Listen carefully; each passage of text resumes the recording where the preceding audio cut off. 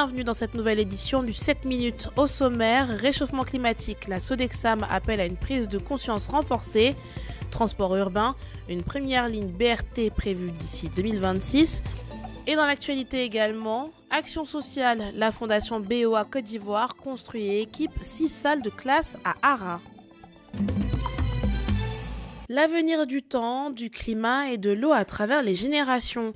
C'est autour de ce thème que la journée météorologique mondiale a été commémorée le jeudi 23 mars 2023, une initiative de la Société d'exploitation et de développement aéroportuaire, aéronautique et météorologique Sodexam qui a réuni dans un même lieu scientifiques, décideurs et associations de jeunes, occasion choisie par son directeur général pour lancer un appel à une prise de conscience renforcée. On ne peut pas parler de cause en isolant la Côte d'Ivoire puisqu'il s'agit d'un phénomène mondial et comme vous le savez, les phénomènes météorologiques et climatiques euh, transcendent les frontières. Donc les causes, évidemment, euh, il y a l'activité économique, euh, il y a les causes anthropiques également, le, comportement de chacun des citoyens que nous sommes, qui donc accélère et renforce ces phénomènes de changement climatique. Elle a une prise de conscience renforcée, au-delà des, des, efforts qui sont déployés au, au plus haut niveau de l'État, puisque vous connaissez les engagements pris par Monsieur le Président de la République sur les questions climatiques la Côte d'Ivoire a pris euh, une position très forte et nous avons accueilli euh, la COP 15 sur la biodiversité, euh, ici même à Abidjan. Simplement une prise de conscience de chacun des citoyens sur le fait que nous avons un rôle à jouer dans le changement climatique si nous voulons préserver un meilleur avenir pour les générations futures. Nous sommes aujourd'hui, on ne va pas dire à la croisée des chemins, mais à un tournant important et décisif. Le gouvernement fait d'énormes efforts en termes d'environnement. De, Au ministère des Transports notamment, nous avons donc entrepris un certain nombre de réformes pour faire en sorte que les questions d'environnement soient prises en compte au niveau des transporteurs. Nous avons réduit l'âge d'importation des véhicules d'occasion, par exemple. Nous sommes en train de migrer progressivement vers des véhicules électriques. Et aujourd'hui, il est essentiel que chacun prenne conscience de l'importance du climat, de l'eau et du temps dans les politiques que chacun mène. La journée météorologique mondiale édition 2023 a été marquée par une conférence, des journées portes ouvertes et une visite de stand. Elle a été créée par l'Organisation météorologique mondiale pour célébrer la mise en œuvre de la Convention le 23 mars 1950.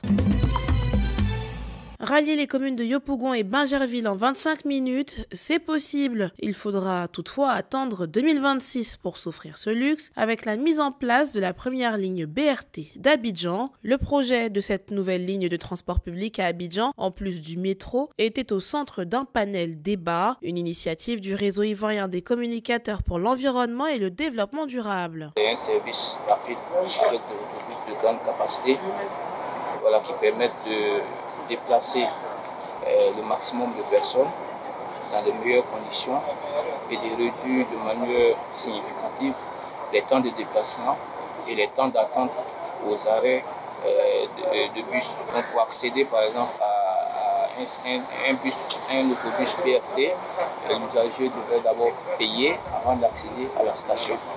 Euh, et avant d'embarquer dans les autobus. Face aux journalistes, les conférenciers ont expliqué les actions du gouvernement pour régler les problèmes de mobilité des populations ivoiriennes en prenant en compte la protection de l'environnement. On a présenté un peu l'état des lieux. On a pour montrer un peu ce que le gouvernement train de faire pour augmenter l'offre du, transport. J'ai dit le, transport en train de construire un métro sur 37 km qui a permis de transporter 500 000 voyageurs par jour le métro par heure, par exemple, il peut, il peut transporter à une seule heure 3000. Parce que bon, c'est donc un moyen de transport qui est sûr, c'est propre. BRT aussi, c'est des bus, aussi des, bus articulés, des grands bus, qui peuvent aussi transporter aussi autour de 1500 à 2000 personnes à, à l'heure de pointe, puisqu'il est aussi un site propre, donc il n'est pas gêné par les autres véhicules. Donc il ne vit pas l'embouteillage. La première ligne BRT Yopougon-Bingerville, longue de 20 km, sera dotée d'au moins d'une centaine d'autobus articulés électriques. À court terme, ils transporteront en moyenne 300 000 passagers par jour. Des étudiantes en bâtiment issues de plusieurs établissements ont été outillées et conseillées dans leur domaine dans le cadre du mois de la femme, une initiative du groupement ivoirien des travaux publics. Il est dommage que certaines parties du monde où certains hommes pense qu'on peut se priver d'une moitié de l'humanité pour réussir le développement de ce monde-là, dans la paix. Nous estimons que les femmes représentent à peu près 50% de l'humanité et qu'il est important de leur accorder les mêmes droits que les hommes. Il y a donc des moyens qui permettent aujourd'hui à tout le monde d'embrasser ce métier. Il n'y a donc pas de raison que nous n'appelions pas les femmes et que nous ne montrions pas la possibilité qu'elles ont d'intégrer ce métier. J'ai un sentiment de fierté de savoir que je suis la seule femme à pratiquer cette discipline. Mais en même temps, j'encourage les jeunes filles à embrasser ce métier. Je souhaiterais les encadrer au cas où ces jeunes filles vont embrasser ce métier. Je souhaiterais faire partie des, des, encadreurs. Cette rencontre avait également pour but de susciter l'envie d'apprendre chez ces jeunes filles. En tant que femmes, nous devons nous valoriser dans le domaine du BTP, ça c'est la première chose. Ensuite, euh, nous devons nous, faire valoir. Nous devons euh, apprendre. Nous devons assez apprendre. Nous devons être concentrés. Nous devons euh, chercher de plus en plus de l'expérience. Au lieu de s'asseoir dans les bureaux et puis voilà, essayer de faire comme ce qu'on a l'habitude de faire, chercher plus d'expérience, être dynamique sur, au travail et puis chercher déjà en tant qu'étudiante chercher déjà à avoir des stages.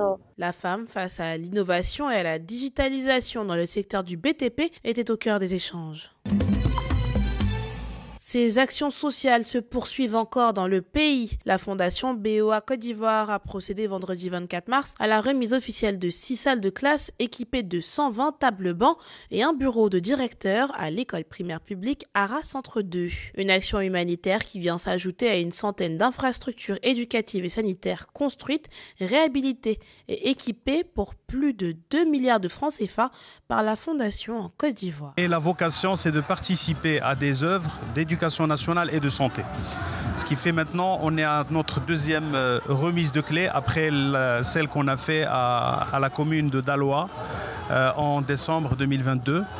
Et on est très content euh, voilà, de participer à améliorer la vie de la population, des élèves, à travers ce qu'on est en train de faire. Heureuse de revoir ces infrastructures neuves, le maire de la commune d'Ara Madame Arlette Badoun-Guessan a exprimé sa gratitude au responsable de la fondation BOA Côte d'Ivoire, lui emboîtant le pas le secrétaire général de la Direction générale de l'éducation nationale et de l'alphabétisation, M. Conan David, a soutenu que ce geste de la fondation BOA Côte d'Ivoire marquera à jamais les esprits à Ara. Il est bon de mentionner que le PPR Centre 2, qui a désormais fière allure, était en état de dégradation très avancée. C'est la fin de cette édition du 7 minutes. Merci de l'avoir suivi. Bonne suite des programmes sur cette info.